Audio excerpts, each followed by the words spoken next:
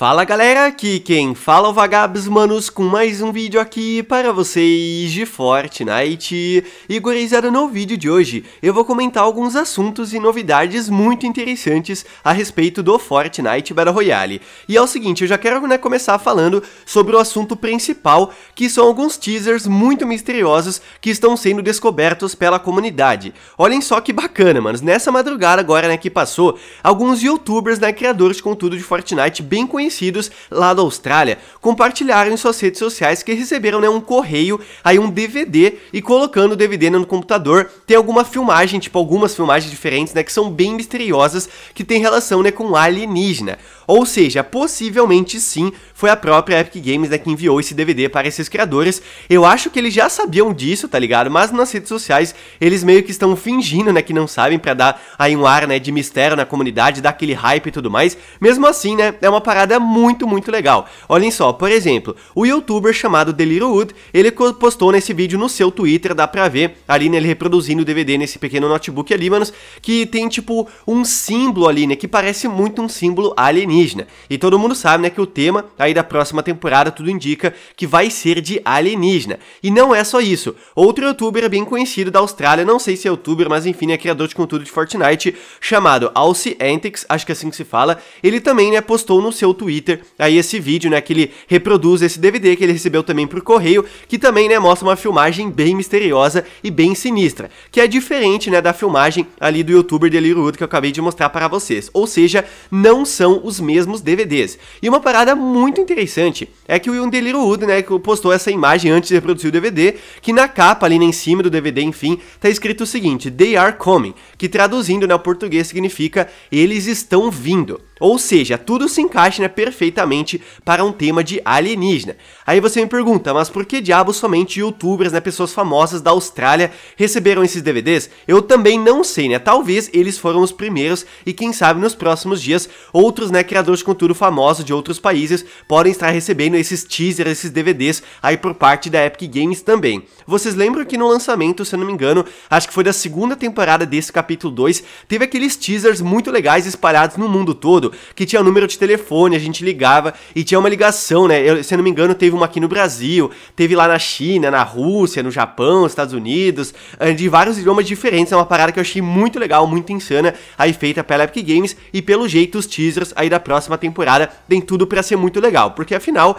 ainda falta alguns dias, né, para a próxima temporada ser lançada e essa galera, né, da Austrália já está recebendo esses DVDs aí da Epic Games, ou seja, né, quem sabe ao longo das próximas semanas até o final aqui da temporada 6 muitos outros DVDs né, e teasers sejam né, divulgados aí por outros criadores de conteúdo bem famosos também. E outra parada muito interessante é que de acordo com o leaker FireMonkey, foi encontrado lá em Los Angeles alguns posters muito misteriosos que possivelmente né, tem relação com Fortnite também. Olhem só, ele postou alguns dessas, desses posters no seu Twitter, como dá pra ver, que todos eles, né, tem tipo essa imagem em verde ali, símbolos que parecem demais serem de alienígenas, e todos eles também, né, está escrito a mesma coisa do que o DVD que eu mostrei antes ali enviado pela Epic, They Are Coming, né, que significa eles estão vindo. Ou seja, manos, tudo tá se encaixando perfeitamente, né, teasers, aí DVDs, né, filmagens, que, né, tem relação, né, com o tema alienígena aí na próxima temporada do jogo. Eu, sinceramente, gosto muito, né, quando a Epic Games coloca teaser na vida real, tá ligado? Eu acho isso muito insano,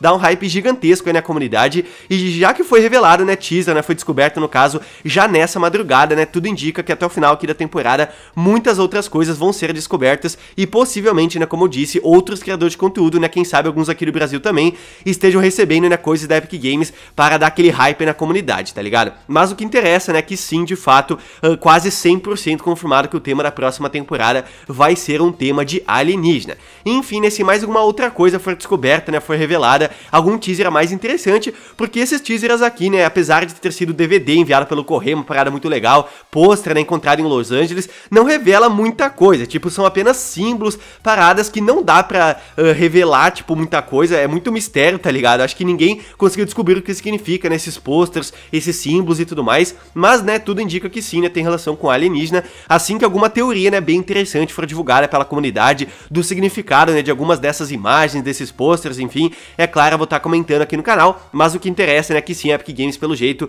está bem empenhada em fazer os teasers aí pro lançamento da próxima temporada. Eu, sinceramente, já fiquei muito hypado por conta disso. Eu acho que os teasers é a coisa que mais hypa a comunidade, né, pro lançamento de uma nova temporada. E se isso, né, continuar acontecendo até o final da temporada 6, com certeza a próxima temporada vai ter um grande hype aí logo no início. E outra parada importante aí da temporada 7 é que, de acordo com vazamentos, possivelmente vão ter né, espalhado aí pelo mapa vários OVNIs, ou seja, naves espaciais, tá ligado? Que vão, uh, digamos que interagir com a galera da partida. Olhem só o que o Hypex comentou no seu Twitter. Mais informações a respeito né, dos OVNIs de abdução alienígena. Quando eles te abduzem, eles restauram sua saúde, né, sua vida e seu escudo para 100, ou seja, uma parada que parece positiva, né, bem positiva.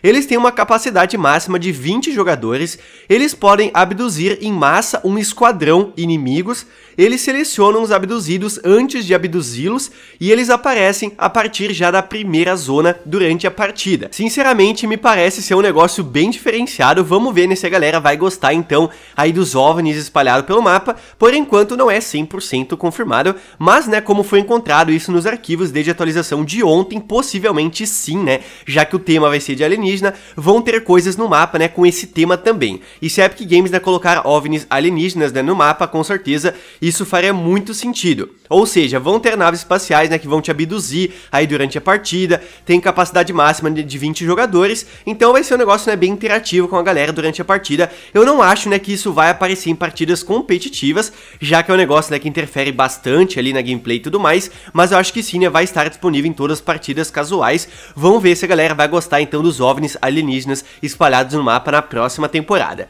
E manos, olhem só, outra parada que eu também quero comentar é sobre os desafios da NBA. Os desafios ontem né, estavam bugados para muitas pessoas e felizmente ontem à noite os problemas foram 100% solucionados. Olhem só o que a Epic colocou aqui. O problema que impedia jogadores de completarem seus desafios na central da NBA no criativo foi resolvido. Só que na verdade, né, isso não durou muito tempo, porque a galera, né, tava comentando que ainda o erro continuava. Então, por conta disso, olhem só o que eles comentaram em seguida. Continuamos investigando relatos de jogadores que ainda não conseguem completar desafios da NBA no modo criativo. Atualizaremos vocês assim que possível. Ou seja, pelo jeito não foi nesse 100% solucionado apenas para algumas contas, outras ainda continuam bugadas, tá ligado? Não conseguem fazer as missões da NBA liberadas ontem.